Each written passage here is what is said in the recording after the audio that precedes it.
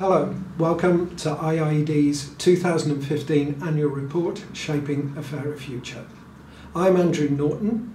I'm the new director of IIED. I joined in the early summer of this year, 2015. We're very proud of this report. It outlines an amazing range of work that IIED did over the year leading up to the end of March 2015 in relation to our work on climate change and ensuring a better and fairer deal for the world's poor from global negotiations through to our work on markets, our work on natural resources and our work on human settlements. There's a fantastic amount in this report. I hope you enjoy it.